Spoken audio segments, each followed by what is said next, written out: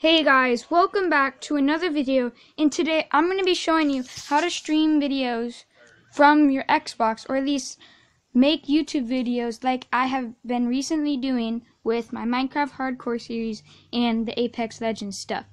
So first what you're going to want to do is you're going to need to have the Google Play Store and it's not going to work on the Amazon Play Store so you're going to need to figure out how to get this and there's plenty of videos online to find out how to do this so just search that up. But first, now since we're on the Google Play Store, you want to type in XB Stream. See, and it pops up pretty much exactly when you type it. And as you can see, I already have it downloaded. So what you want to do, there will be a button where open is and you press install. Once you've installed it, open will appear and you click on that. But, and now, okay, now we know it's working, but you don't you need something else as well besides that.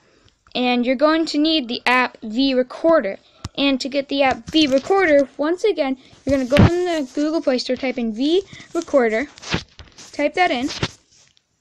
And now you have V Recorder as you can see I already have it but where the open sign is there's going to be an install not open. So you press install and then you just wait for it to install and once it's installed it'll say open.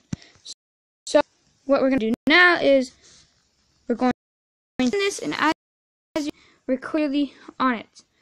And whenever you go on and off the V Recorder app something like this kind of notification V Recorder is ready means that you can use it whenever you're inside an app so what I'm going to do is I'm going to click on the XB Stream app now, since I have recorder app to record my gameplay, since I'm on it, you're going to want to click connect.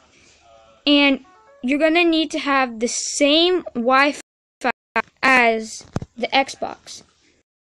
Pretty much, you're going to need to set that up first, but once your Kindle and the Xbox are on the same Wi-Fi, it's going to pop up like this. So I'm going to click on this, boom, it'll say connecting, and eventually, after a little bit, it'll soon pop up. It takes like 15 seconds, and boom, we're in. As you can see, we are now recording.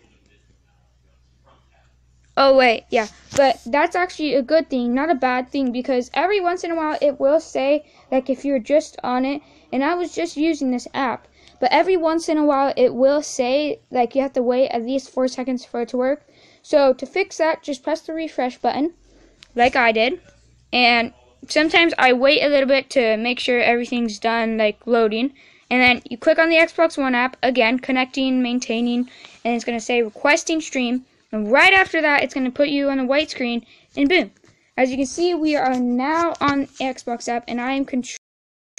So I'll just prove to you that I'm actually doing it. Is I'm going to click on Minecraft, and I'm already on it. Boom, click on some Minecraft.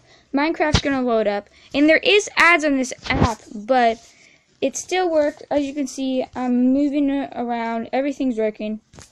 So, um, yeah. If this was a helpful video, be sure to leave a like and subscribe because I know maybe a couple of you might have been having trouble trying to figure out how to do this. And if you're like me and you really wanted to start playing games from your Kindle on the Xbox or just record videos like I've been doing, then this video is probably going to be really helpful because they probably don't have much videos on YouTube. But without further ado, I'm going to end the video here. So, I'll see you guys next